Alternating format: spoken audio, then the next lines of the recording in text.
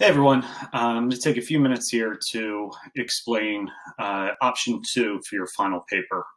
so for this, we're looking at a pandemic reflection slash research paper. So the essay prompt is considering the impact that the pandemic has had on you and your community. What role should the federal government take in managing the crisis, and what is the most effective manner to reopen the economy? So I'm trying to leave this pretty wide open here. We're obviously living through this. Uh, you guys are, you know, historians, so to speak, you're political scientists. Uh, however, it is that you want to really look at yourself within this. Uh, you guys are highly intelligent. You're going to college soon, uh, so on and so forth. So, considering the fact that it is mandatory for you to write a paper, I figure this is the best way for you, uh, unless you want to write the policy paper but for you to really personalize uh, what's been going on, yet still thinking about what role the government plays in our life, is that really is the core question of this entire course. And who better than you guys to really speak to that, considering your lives have been flipped upside down so much by this, uh, and you know, it's just going to continue to reverberate. So when you take a look at the essay structure, uh, we're taking a look at just the three to four pages. So this is shortened. Normally you write, excuse me a second there. Normally you write like five to seven pages. So uh, really this should be something that shouldn't take you too, too long to write. So I'm just going to speak through all these things. Uh, if you can just read through this and get the gist, like have at it. Uh, but if you want to hear me talk about it, obviously listen to the remainder of this video. So intro is pretty simple. Excuse me. Uh, just looking for six to eight sentences. If you're at five or nine, that doesn't matter. I'm not counting sentences. But you do want to hit on these three things. Start me out with a hook. Do something to grab my attention.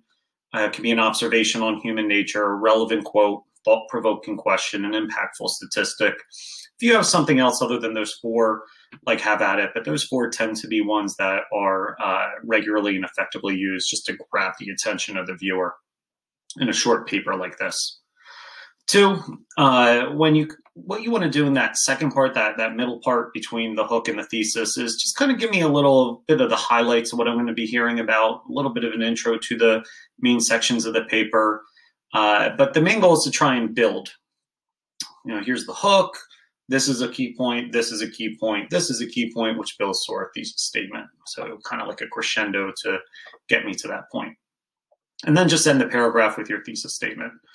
Uh, and it should be big, it should be broad, yet narrowed in enough to be able to hit in on uh, the three main components that are in your essay prompt. So you have to speak to the impact it's had on the, your community. You have to speak to the role the government should take. You should speak to the most effective manner.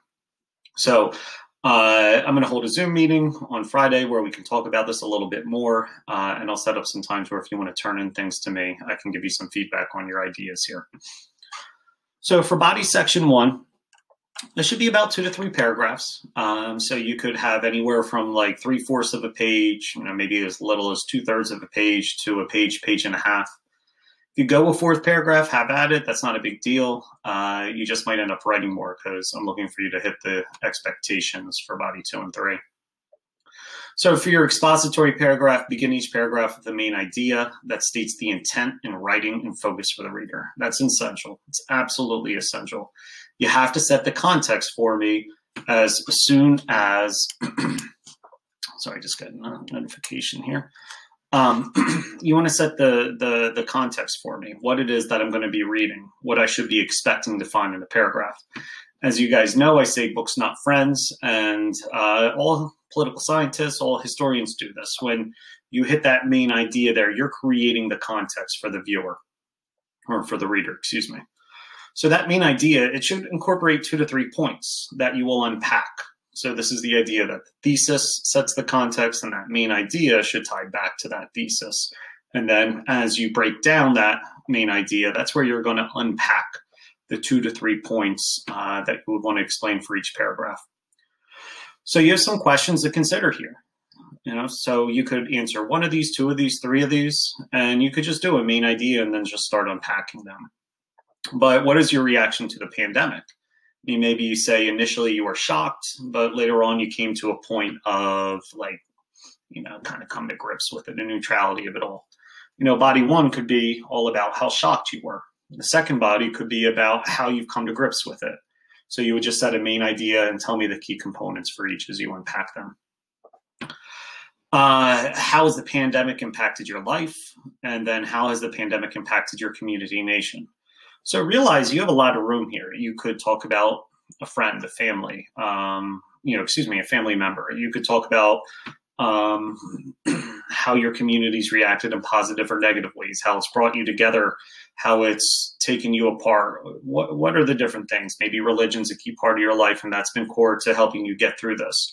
Maybe you have a really big extended family, and they've been core to helping you get through this. But this is where you really want to personalize this. Um, not really looking for you to in this first body section, you don't need a ton of research or anything. This is more the reflection part uh, where you're kind of introing this. You're the ones who are going through this. Your words matter because if in 20, 30 years someone wrote a book on this, they would go to regular people like you and me and ask us questions like this. You know, what was your reaction? How did it impact you? So on and so forth. Because we want to figure out those things. And then we want to figure out like how that changed your life and how society should react, things of that sort. So just personalize it there. Now, for the resources, I can uh, go through this stuff with you if you'd like on a Zoom conference or a one on one Zoom conference, something like that. So, I have a ton of resources here that I've been developing that are specifically tuned into this type of writing. So, go through them um, if this type of writing doesn't come natural to you, or know that if you're going through the writing process, I'm going to speak to these things but you have a number of different resources again that are they're they're based on like Google Docs and stuff like that. You'll find them in that, but you know stuff for how to write the topic sentence, writing with information, how to bring your information to a point. Uh, just a ton of different transition words. So that's just something I got off the internet, and then a number of different outline organizers. So uh, considering you guys are 12th grade AP students, I'm going to assume that you're pretty comfortable with this style of writing. Uh, but again, if you're not, uh, let me know because within each one of those resources, especially that outline organizer, is really where you'll see the structure depending on the number of points that you make. And I have uh, teacher guides and things of that sort, which I can provide to you as well, teacher examples to help you with that. Now, for body section uh, two and three, here's where you're going to provide analysis. This is really the, the analytical writing that I'm looking for here, because you're going to be taking a stand on two key questions and providing reasoning for that. So, what's your stance and what's your reasoning or your analysis of that stance? So, I'm looking at three paragraphs. So, you're telling me like three aspects or three reasons or something like that. But uh, I'll save an idea. I have my mind for when you get down there a little bit uh, in a little bit here. But I do want three paragraphs. This should be about a page for each one of these. So you figure if you were to write half a page on body section one plus an intro and conclusion, there you go with a page. Then you write uh, body section two and three, page each. Now you're looking at three par- or excuse me, three pages, very easy. And uh, it's also simple to expand past that. So begin each paragraph with a claim. So that's different. That sets the intent in writing and focus for the reader. So you're still setting context for me. It's just instead of writing a main idea, you're giving me a claim. So there's different stuff that I want in here. I don't think, yeah, I get to it there. So two, uh, the claim must incorporate a stance on the guiding question as well as a reason or reasons in defense.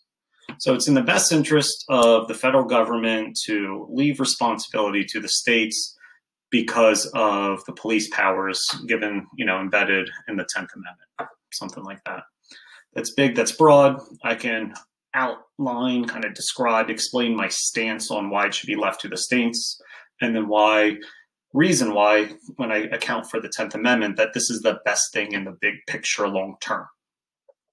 So there's a lot of room that I could have in there. I trust my governor, not my president. Um, you know, I uh, local politics are the best politics to dissolve, excuse me, to resolve these issues as opposed to a national approach all the different states are reacting differently. So, um, and, and, and impacted differently. So it's in the best interest to leave it to the governors.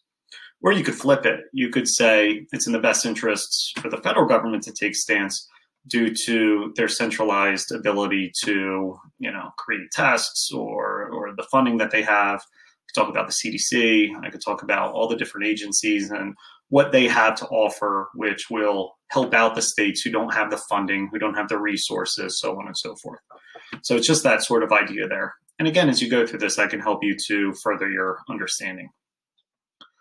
So the stance and reasons must be fully explained in each paragraph or body section here. So that's also up in body one, but this is more applicable to body two and three because you know you might lay out your claim, you take a paragraph to explain your stance, and then you spend a whole paragraph uh, analyzing your stance. Maybe you spend two paragraphs analyzing your stance. So that's where, if you have like three reasons, you could do three paragraphs. If you have one reason that you can expand over three paragraphs, you can do it that way as well. But I'm still looking for the same basic things in there claim, stance, and reasons. So, claim obviously is your topic sentence, your stance is your points that are embedded in your stance, very similar to the expository paragraph. The key difference with the analytical analytical paragraph is the fact at the end you're tacking on those reasons. And within those reasons, that's where your analysis is. That's where you're tying this to other themes, other threads, other concepts in society, and other topics, other aspects of what's going on, and telling me what the you know immediate long-term consequences are. So for body two, uh, body section two, you're answering that question right there. What role should the federal government take in managing the crisis and why? Whereas for body three or body section three, what is the most effective manner to reopen the economy and why? So I'm delineating those two. Obviously, for those of you who have been in the Zoom conferences, we've been talking about these things. So I'm hoping you have a lot of ideas for this anyway. And uh, yeah, it's about that for that. So resources, pretty much everything the same. I just put it there twice, just so it's all kind of categorized and organized there A couple additional things. Uh, analyzing the claim is right here, so that helps you with your reasons, your analysis. And then you have analytical paragraph outline organizers.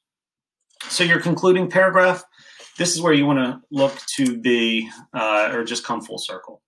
So it's six to eight sentences. You make a transitional statement uh, to the concluding paragraph. If you can, you want to subtly connect this to the hook.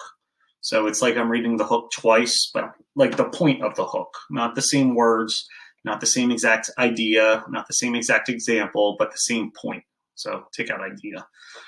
Uh, summarize the importance of the paper by making a point on just basically the, the three things you hit on. This is where you're resummarizing what you introduced with, where you're trying to make the same points uh, without saying them in the same exact words again. And then with your closing statement, you want to come full circle and subtly leave me with something to think about that connects to the thesis statement, something that like when I finish a book, oftentimes you're going to get that last sentence that's just going to make you think one more time. And that's what I want. But I want you to make that connection back to the thesis because that's how you create that whole cyclical thought. So if I were to go back and think about your paper, you know, the thesis comes to mind or the last sentence comes to mind that creates really broad context for me. And then I can think about your details in relation to your arguments, in relation to your claim, in relation to its impact on your life, in relation to your thesis. So that's really where you see all the interconnectivity in like good writing. It's where you know the logic sound. So due dates June 1st. Uh, assignment must be submitted on Canvas. I'll set that all up. So it'll be through EasyBib or no, uh, Turnitin.com, excuse me. Formatting very simple, first and last name in the top left corner. I don't want to see like six sentences between that and where you start. It should be name and then just start writing. You're not wasting space there. If you start about half a page down because you have a header that takes half a page uh, and a title on there, and I don't want a title, uh, like that just won't count to the full, you know, three page minimum that you have to give me here. So one inch margins and then each paragraph. Do not skip lines between paragraphs. Uh, size 11 Arial, or for Ben Felgois, who's not writing this paper, size 12 Times New Roman font. Uh, and then double space your work. So I do need a works cited page. I want a works cited page that is on its own page. So that's not going to count. So if you write two pages and your works cited is a third page, that's not going to cut it. Uh, I want to say I'm just adding it here because I forgot. I want five or more sources from reputable sites.